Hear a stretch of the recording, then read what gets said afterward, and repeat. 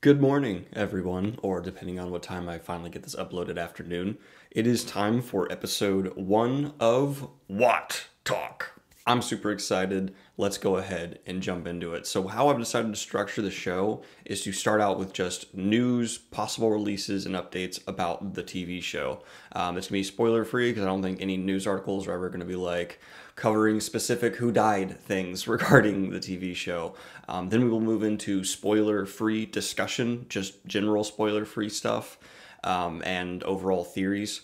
Then we'll go into the mild spoilers. I will put a warning and we will jump into theories about the TV show in terms of mild spoilers, things like that. Uh, and then there will be a firm spoiler warning as I get into the comments and questions you guys have left regarding specific spoilery things, whether it's for the TV show, theories for the, just the books in general, all that fun stuff. And then we will finally go into the last bit, which is discussing the specific scene or sequence in the Wheel of Time that I've chosen to be the focus for this episode. And in this case, it is the opening scenes with Lews Therin creating Dragon Mount, which isn't super spoilery because it's the opening scenes, and I'll go ahead and make it clear okay, no more spoilers, just discussion of the opening scenes now. So if you want to jump to the end at that point, you're more than welcome to.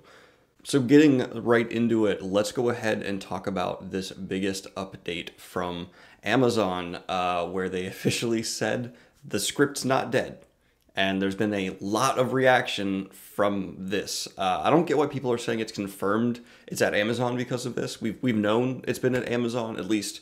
I, I feel like we did. There was so many people saying it, and Amazon didn't deny it, which to me was just confirmation. But maybe I was just uh, too eager to hear it's there.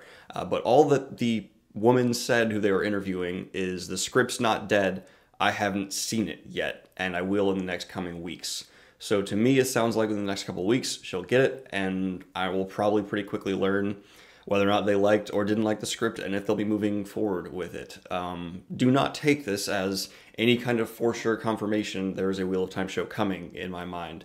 I think there is probably at this point a 50 50 shot. A lot of series get to this point. A lot of series have scripts written and are either rejected or taken in. I think Amazon really wants it. I think they are eager for something on the level of Wheel of Time that they could turn into their own Game of Thrones. But they've also taken a stab at Lord of the Rings and Dark Tower, it looks like. And unfortunately, due to the popularity of both of those series right now being greater than the Wheel of Time, this is probably going to be taking a back seat for them. Um, I'm, I'm, well, this, and well, and I could be completely wrong. They could have huge plans for sure for the Wheel of Time, and that would be amazing. There's probably a decent chance of that being the case. I'm just tampering my own expectations because I do not want to be severely disappointed. Yeah, and it's uh. I'm looking at the sci-fi article right now. It looks like they made a video. Um, kind of just covering the wheel of time in five minutes. God knows how condensed that is. Uh, probably just the general concepts of it. And I, uh, that's kind of one of my biggest fears, though. That that video is a good metaphor for what my biggest fear for the show is. There is so much to cover in the Wheel of Time. There is such a huge world built here. I would I would say much bigger than the world created in Game of Thrones in terms of locations and peoples. Uh, I'm afraid that they will have to cut and condense, and we'll basically get the diet version of the Wheel of Time. Um, and you know, I'm I'm trying. I'm kind of caught between what I rather them take this super big swing at a fully fleshed out, realized Wheel of Time world, or would I rather them just be like, nah, screw it, let's cut it down and do a really good job of a much smaller version of the Wheel of Time? And I'd like to know your guys' thoughts on that. Would you rather them try to conquer the whole series and really, you know, put a big budget on it and just go for it and possibly fail? Or smartly cut out what they think they can and do a more condensed, maybe only Game of Thrones world sized version of the Wheel of Time. Um, because as I've said it before, like this this world is pretty much the biggest ever created in fantasy, in my opinion, in terms of just scope and the level of different cultures we see. Um, it's not as detailed as something like Middle Earth, where you can like trace everyone's heritage back generations at this point. Um, but it is created to a point where there's but there is just more massive uh, levels of cities cultures different like even the clothing people wear is so well described you can just spot someone's nation by their dress which is absurd but yeah, that's that's pretty much the biggest news right now. Next week we'll be going over the news of who so far has been announced to be involved with the show. There is one writer who is involved who did a lot of stuff that I'm actually really curious about, and I'll be doing more research on him over the week. And so next week I'll be talking about this one writer and uh, his involvement with the series and whether or not I think he will do a good job, which is be you know completely subjective and maybe I don't like his stuff and you guys do. Maybe you like it. Maybe you guys don't like it and I do. So no big deal. So we're going to now jump into the spoiler-free kind of discussions. I've sorted through a bunch and categorized them as such. Part of me really wants the TV show to show the actual breaking of the world. I think it would be a good way to show the audience the potential power of a channeler. I think that's brilliant. Uh, I think it should be really the first thing we open up with, even if they are going to cut down the wheel of time to a smaller thing. One thing they really need to nail is that this magic system is just huge and so next level compared to what we're used to. I would be a huge fan of this. I think you're you're hitting the nail on the head in terms of establishing what we need to. Um, opening with Lews Therin, like the series does would be a good move. I think that would it, would make everyone who go turn it would make everyone who tunes in for the pilot uh, really understand the scope of power in the world that they are stepping into. So I'm I'm right there with you, uh, hundred percent. All right. So this is from Connor Kleck. Does this mean we can talk about why you think gender reversal is a part of the Wheel of Time? I'm not sure exactly what you talk. You're, I'm not sure exactly what you're trying to get at here. I think there's two different ways this question can be interpreted. Um, I've I've mentioned before that I wouldn't mind if they just put more you know diversity in the main groups and had like Perrin be a woman or something like that. Like it wouldn't bother me at all. I don't care about gender when it comes to character. Um, and I'm not saying I want that. I'm just saying it wouldn't bother me at all. It's something that a lot of shows are probably gonna be doing in the future for like inclusion and all of this, and I just don't care. A gender doesn't affect how I view a character. Um, or you're talking about the gender dynamic in the Wheel of Time entirely. Um, and I'm I don't it's not that I think that it's that people like Robert Jordan have said things along those lines that they tried to uh, shift the power dynamic and make it so that because men are now associated with madness and things like that, um, they often get the stereotypes and the treatment that women do. Um, so yeah, it's not that's not a personally me theory here. That's that's something that's well established and been talked about um, which is so surprisingly few number of fans that I've met have really learned about that. If you look up things or if you just reread the series with the idea of, okay, how are men being treated? Um, very often they're treated in like the cultural wider approach as the ones with less power. Um, in fact, there's a question I think I already have pulled aside here uh, of saying like, what do you mean that there's more queens than kings? I, misspoke. It's not that there's more queens or women in power than kings. It's that the most powerful positions are women in the Wheel of Time, like the Queen of Andor, who's indisputably the most powerful queen. The the Amyrlin seat. Um, you know, basically the most powerful nations are either led, led by one woman or, or a group of men and not one man. Um, which for fantasy is extraordinarily rare. It's it's hard to find a fantasy series where there are more positions of power held by women, and that's that's just what I'm getting at for Wheel of Time. They just it's it's more of a let's just shake things up, and I think that got more meddled and lost as these series went on. Um, but especially when we're first introduced to the Two Rivers, the fact that there is a a women and men's council for the town uh, that seem to be on the same power level, or the men often kind of just giving in to what the women want. Uh, I think it was just kind of a neat thing Robert Jordan set up and kind of abandoned more later on um, for the series there. Um, but once again, it's something that I've just heard from you know people involved with the series. Oh, and here it is. It's from Daniel. Hey, we have the same name, Daniel Geske. Um, yeah, he gives question. He gives examples of all kinds of men in power. Yeah, I I agree. There are there are lots of um, men in power, but a lot of them are corrupt or bad. Not all of them, but a lot of them end up being kind of the the traitorous, uh, you know, not loyal kind. I don't think this topic would be one of your first Wheel Time videos, but what do you think of discussing Wheel Time's early draft where the plot was massively different? Oh, so I wanted to address this question because unfortunately this is a uh, big gap in my knowledge of the series. I didn't know there was these earlier drafts where apparently Rand was an immortal or uh, Rand was Ryan and the big bad of the series was an immortal alien instead of the dark one. Uh, that sounds amazing, and I certainly need to do more research on that. And I think that could be a focus of an entire WoT Talk episode down the road. So Dylan, thank you for giving me that idea, and that might be like an episode three or four thing, which will be uh, that'll be a lot of fun to get into. Now we have Carl O. Question: Should I buy a Heron Mark sword? I always wanted one as a kid, but now that I'm on now that I'm in my late twenties, I really have a hard time justifying the purchase. Uh, I'm gonna quote the uh, the great show Parks and Rec. Man, treat yourself.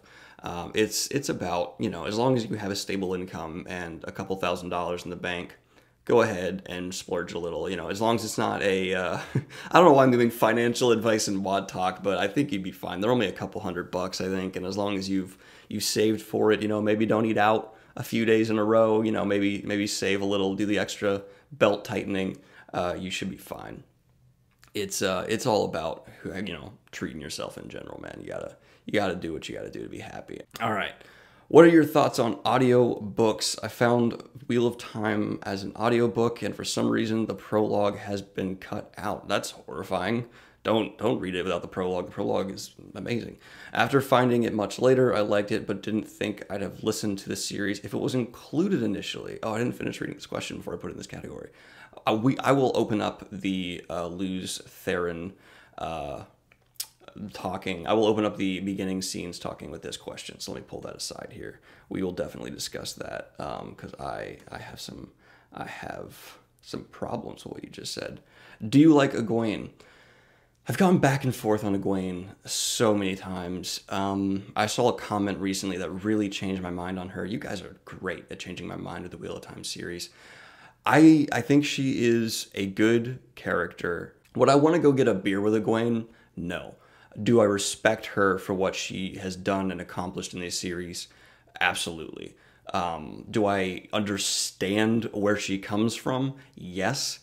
And do I agree with a lot of it? No. So, especially towards the end of the series, uh, without getting into spoilers here, she makes decisions that I just think are out of character and were one of the few real bumblings from Brandon Sanderson. And that's not saying Brandon Sanderson didn't do a great job. I really think he did, but I don't think he handled Egwene's final transitions and conflict very well. It felt cheap to me.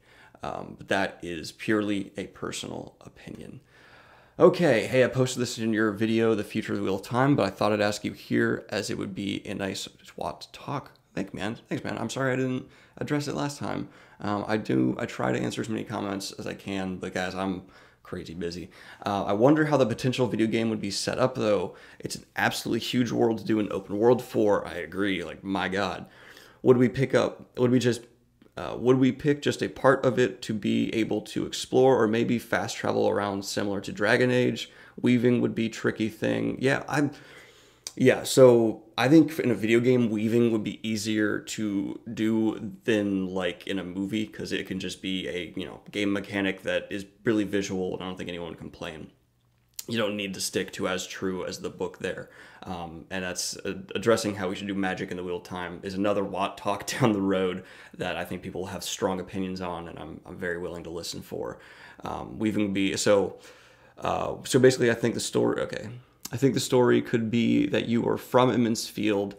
I don't like that. I think you should be able to choose just basically like, oh, do you want to set a start as an Aiel? I don't, I don't, I like a much more like Skyrim approach of like, what's your heritage? You choose. Like, just you figure it out, and then maybe drop them, drop the character in like a place where it makes sense where they'd be for their heritage. And with with the technology of games now, that wouldn't be a problem in terms of size. Um, I think the story could be that you're from Emond's Field, but a couple of year younger a couple years younger than Rand. I feel the farm boy trope is at the core of Wheel of Time. You know, you're not wrong there. That is true. If you want to make a story driven Wheel of Time game, farm boy heritage is a big deal. uh, that is that is a real part of the Wheel of Time mythos. Um, uh, yeah, there, would be great options. Not going to read the next part of that. I'll, I'll block that out. Uh, but join. Um, maybe you can do a video where you explore different options for potential video games. Yeah, that'd be a fun WoT Talk, guys. You want to let's do a whole. That's like episode five now, right? Uh, we'll do a whole like video game potential for Wheel of Time.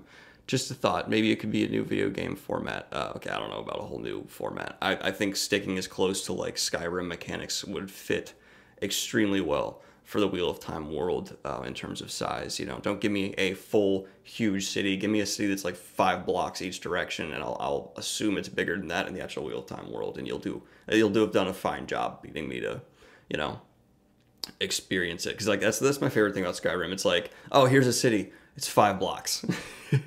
uh, just go ahead and do that for you know. I don't need I don't need uh, Caemlyn to be New York.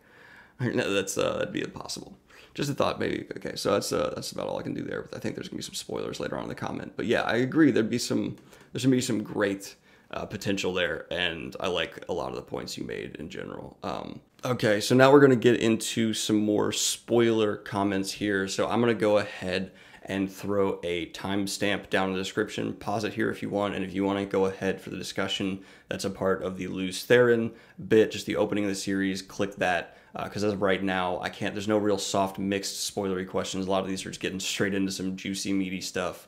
So if you want that, go ahead and skip ahead. Um, I will go ahead and give you a moment. Okay, so great. So spoiler discussion, the the meat of this video. Um, do you understand who killed Asmodean? Because I had no idea up until the end. Uh, also, I'd like to see more Asmodean, such an interesting and melon, uh, melancholic character though certainly not a saint. Yeah, Asmodean was great. Uh, in terms of who killed him, I think it's purposely left to me ambiguous. I know it's it's hinted one of the Forsaken did it. I don't remember which one honestly, because I I think Asmodean's a fine character. I just never got super invested in him or his storyline. I don't know why. Every reread for me, I'm just like, oh, this dude's gonna fucking die. Like even even the first time I read the series, I was like, he's so gonna die. Uh, I so yeah, I've never felt connected to Asmodean, um, but I think he is a good character, and it's not that he's bad that I'm not connected. I just personally didn't care because um, it felt like a weird Moiraine, like male Moiraine takeover training Rand, Rand thing. I don't know. It was weird.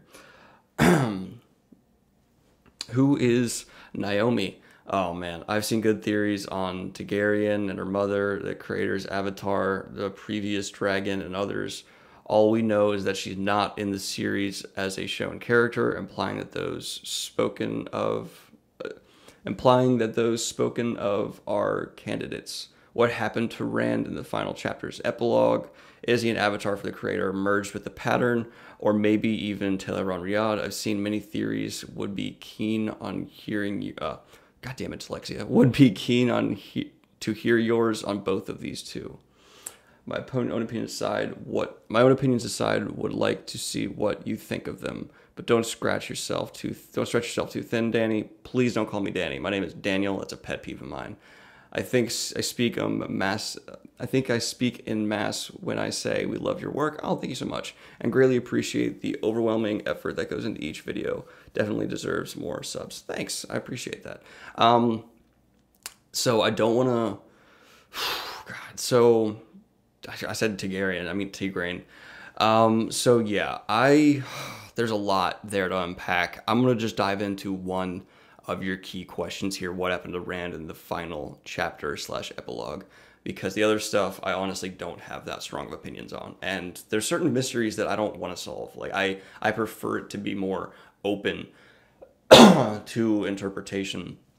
But when it comes to the final epilogue, that is certainly someone everyone should have opinion on. Excuse me, I need to get a drink of water what happened to Rand wasn't him uh, joining with the creator or merging with the pattern or Tel'aran'rhiod. For me, it wasn't about him ascending to some other level. To me, it was just a more of a direct, almost like a not a fourth wall break. That's the wrong thing, but like a direct nod to the reader that Rand was done. To me, there was something about having him being able to do whatever he needs to do without the battle and the struggle and the horrific, you know, side effects of saidin or the true source.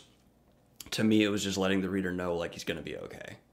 And I don't think the point was to ever get an answer of what exactly happened to him. I just think the point was to finally see Rand is at peace. And if you look at that final chapter, that final bit, it is so much about that. Like, my God, it's all just setting up Rand as being like, he's finally happy, guys. After 14 books, Rand gets to have true peace and happiness and be with the women he loves.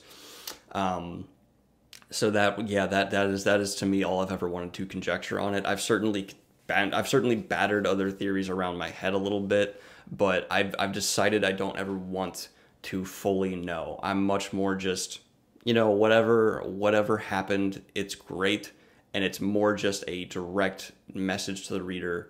Rand's all right, guys. Which after the shit he goes through is uh, super what I'm looking forward to there. Uh, that guy needs a break. Hashtag WoT Talk. Thanks for using the hashtag. It made it a lot easier for me to find your comments if you did. What do you think would have happened to Shara after the last book? Uh, that's a good question. Also, if you were Rand at the end of the series and had gone through the terrible things that had happened to you slash done, would you ever try to reconnect with Tam? Go back to the Two Rivers? What do you think? Okay, I'm not going to get into the Shara stuff because I don't have much of an opinion there, to be honest. Um, I don't. It's, it's a good. It's a perfectly good, valid question. I just I don't have strong opinions. I love the second part of your question though. If I were Rand, I would have failed in the first book. um, I, I I would not have gotten to the end. I'm going to make that very clear. Um, like guys, I'm, I'm an OCD germaphobe. There's no way like like I'd sleep on the side of the roads with Mat. I'd be like, I'm out. I quit. I'm gonna go be a terrible farmer, and we're all gonna die. But when it comes to the act, like if I had gotten there, reconnecting with Tam, uh, yes, because Tam Tam gets, does not get nearly enough credit. Tam is one of the wisest, most badass characters in the Wheel of Time, and gets and he needs so much more attention. Um, would I go back to the Two Rivers? I think I would go back to the Two Rivers and not basically be open or known about it. I would definitely, with all the powers Rand has, I'd probably just chill out in the uh, Misty Mountains or whatever they're called, and uh, just you know see my dad, see my friends, and I wanted to, and do that more or less, not ever trying to integrate back into the community because you would wreck any community you try to be a part of. Like there's no way anyone could have a normal life with you around being who you are. Um, so in that term, I think so in that in that case, I would uh, yeah I would kind of become the man of the Misty Mountains that everyone talks about and whispers about. Is, is that Rand? Is that Rand? Yeah, it is. Don't just don't talk to him. All right, he's been through a lot. Just let him let him be. Don't don't leave him alone. That that would be that would be my situation. I like that. All right. Hello, Daniel, longtime subscriber, first time commenter. Dude, comment more. I like your I like your avatar one, Muhammad Ali, or your uh, your thumbnail. Muhammad Ali is amazing. I would like to hear your opinion uh, on part in Book 8, Path of Daggers, why Rand and the Seanchan both thought they. Oh, uh, I would like to hear your opinion on part in Book 8, Path of Daggers. I think you mean where Rand and the Seanchan both thought they were defeated. I don't think they both thought they were defeated. I think Rand defeated both armies, and that was the real tragedy of what happened. That was a scene where Rand tried to be more powerful than he currently was. It's where he tried. It's where it's where he had a Kanye moment. Uh, he thought he was this like oh unstoppable you know perfect thing, and this is a real important turning moment for him where he really got humanized and brought back down to earth. Um, so yeah, I, I love that scene. I think it's one of the most pivotal moments in all of Rand's story involving Callandor. If you watch my Rand Callandor video, you know how I feel about that. And I think it's one of the biggest turning points for him because up until then he had just been arrogant as shit. He had been kind of bullying people around, and then he just gets humbled. Um, he he gets humbled straight up. Um, so he went from being on his Kanye vibes to a much more humble approach. Um, and it's it's such a God, it's such a bold writing choice to have our main character kill not just an enemy army that's full of you know decent guys that are just fighting for what they believe in, but his own. Like that is that is dramatic uh, in every sense of the word. Having uh, our main hero do such an uh, unforgivable thing. So yeah, I'm uh, I, I, love that. I think it's one of the top ten scenes in the Wheel of Time, and it's something I don't think has been brought up on this channel yet. So KT to God, good question, my friend. Uh, I I enjoyed that so we are going to slip into the Lews Therin scene talk here. Uh, we have quite a bit of responses, so I appreciate you guys responding to that. And we'll go ahead and jump in here. So with Jennifer Doze, Um, I'm going to show favorites and say that Lan and Perrin should have won. Oh, in regards to the tournament, that's they're both amazing characters. As far as opening scene with Lews Therin, I think that is a great way to set up the series and a cool way to see what could go wrong with male channelers. Yeah, I, I agree. I think it. Oh, there was a question I wanted to open this section with. Let's jump back to that real quick. I will finish your question, Jennifer does. Um, so First found it as an audiobook and the prologue had been cut out. After finding it much later, I liked it but didn't think I'd have listened to the series if it was included initially. So with uh yeah, so this this actually hits on a good point. If you understand the context of what's happening in the opening scene, it's so powerful. It's it's huge, but I think it's also undeniably a very confusing thing. Because uh, if you're just diving into this world first viewing, you got no idea what's happening. It's it's no no connection to these characters. It's just a weird, crazy guy mocking what seems to be an insane noble who's killed his family. Um, in hindsight, amazing. Smartest way to open your series, debatable because I think it could turn people off. Um, I think some people are going to read it and be like, "The hell was that?" and then just put down the eye of the world. So, well, I think it's an amazing scene, I'm not sure if it's the best thing to start the series with. So I, I, I think that was a fair point brought up there. But jumping back into the other one, um, as far as an opening scene with Lews Therin, I think it was a great way to set up uh, a cool uh, the series and a cool way to see what could go wrong with male channelers. I agree with that. So I actually think this is a good good connection with these two questions. Glad I'm answering them back to back. I think it was confusing for the books but for a TV show, you could do it in 10 minutes, and that could be a great establishing thing. And with a more visual medium, it would be a lot less confusing, I believe. And we could also have, you know, just rewrite the dialogue a little bit to be a little more context given without just being an exposition dump, because it, it is a confusing opening. I think I remember vaguely when I first started Wheel of Time, God, 11 years ago. Uh, that that scene confused the hell out of me, and I, I was a little turned off. But then I kind of just stuck with it Thank God I did. Uh, but it, it's certainly um, it's it's not the most straightforward scene, but it is a great setup scene. So it's it's confusing whether or not that was a great choice. The first scene is one of my favorites, though I'm only on book seven. Interesting.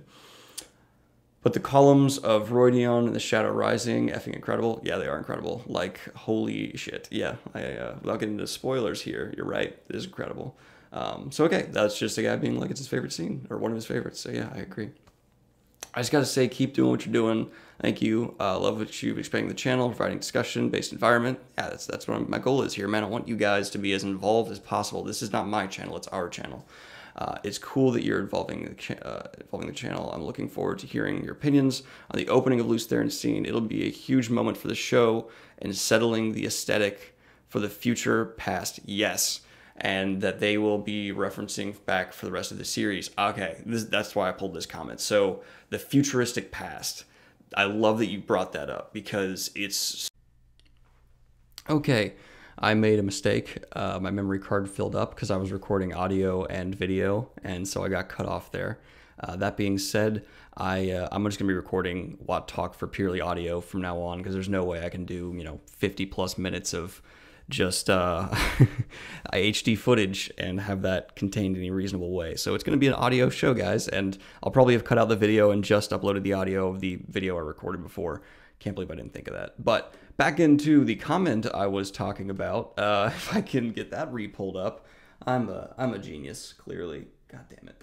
All right, so, um, so this person brought up the futuristic past setting and to me, that was a brilliant thing to bring up because it's going to be a difficult situation for them to accurately bring into the wheel of time. This past that was a future then we've shattered and broken this world and it's something i think is worth a lot of discussion. So if anyone has any really strong thoughts and opinions on them building and establishing this futuristic past uh, let me know because i'm i'm curious myself and don't have any strong opinions on yet yet of what should be done.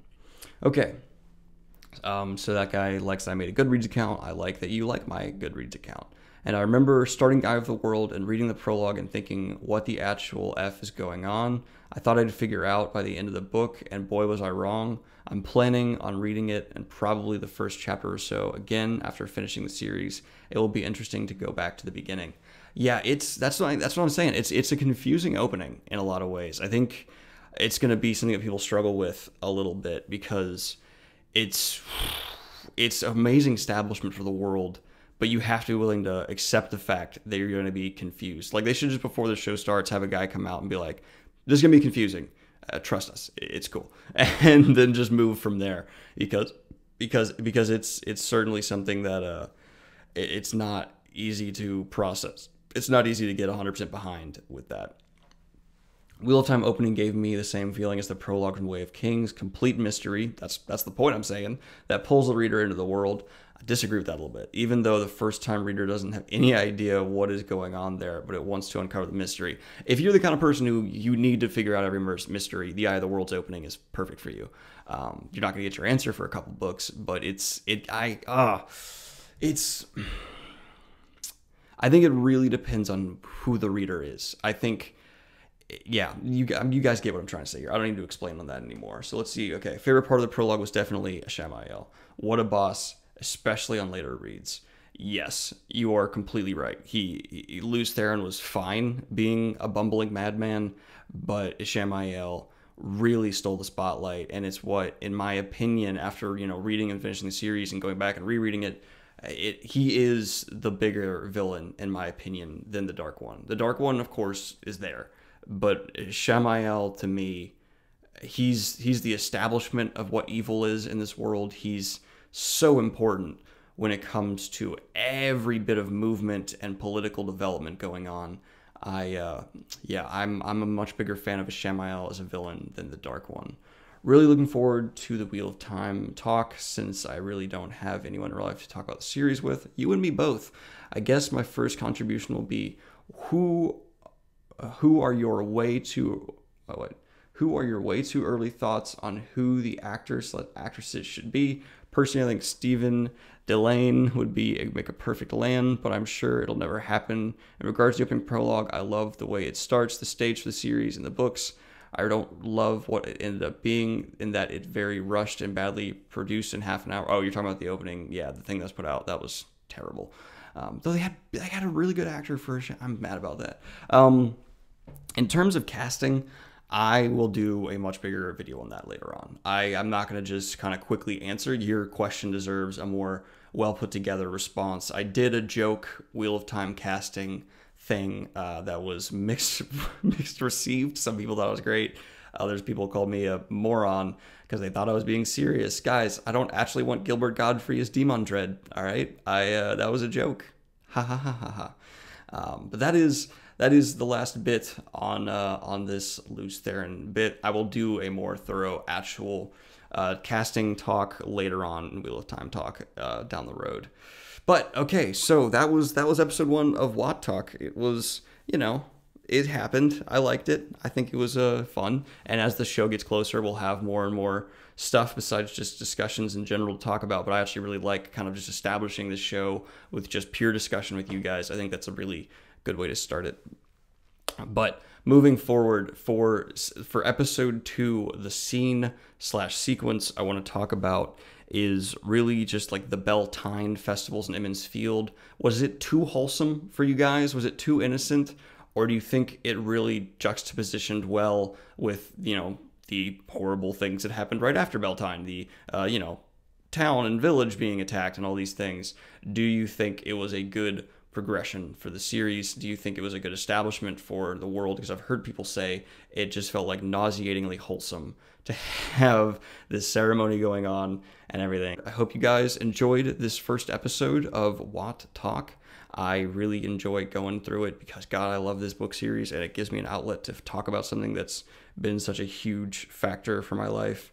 Um, have a good one, y'all. Um, like and subscribe. Hit the Patreon if you want to see WoT Talk live and thrive until the uh, show comes out. And I hope you guys are having a wonderful day. Peace.